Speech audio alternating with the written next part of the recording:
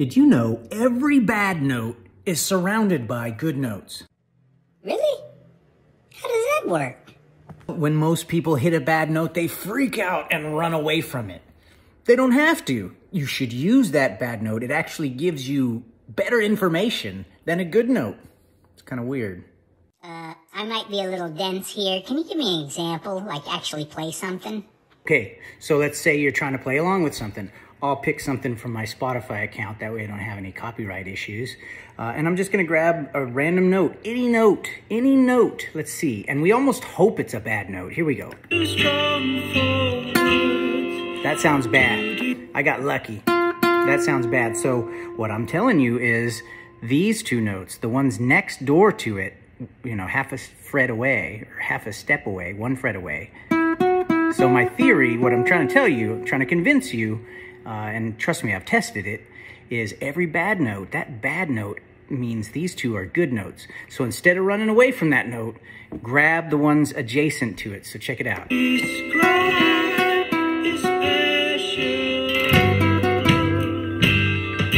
So now those two are good. The next step is, is the next good note right there or right there? It's gotta be one or the other. Let's check it out. That sounds bad. That's the right one.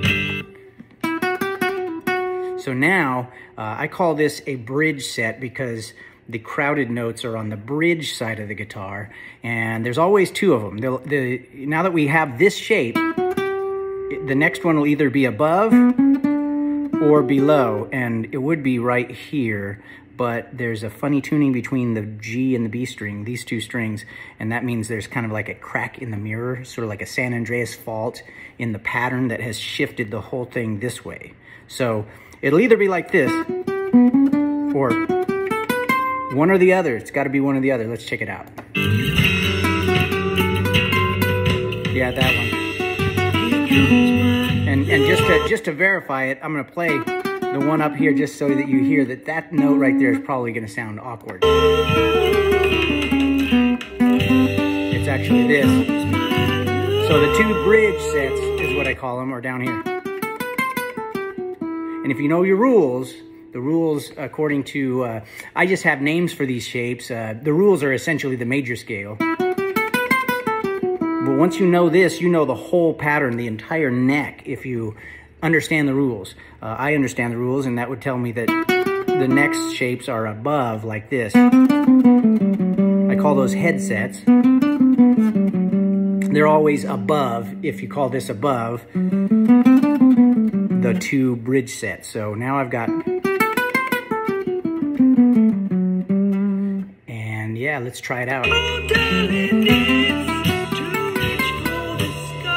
And that means the next shape, which is the only one left, is a triple.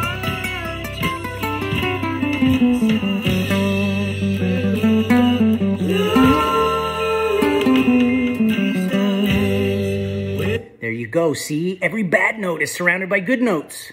Uh, oh my gosh, that worked. But what if I still don't believe you? I need more convincing. Let's try it again, just in case you don't believe me. Let's try it. That's a good note. Let's, we want a bad note. That's bad. So, that means we've got our two good notes. The next one is either here or there. Not that one. There it is. I'm moving ahead of myself. I know once I have this shape, there's another one below it or above it. Looks like above and below. That means, since I know the rules, the two bridge sets are above that, followed by a headset. There you go. So fast. I call that pattern detective. You should learn it.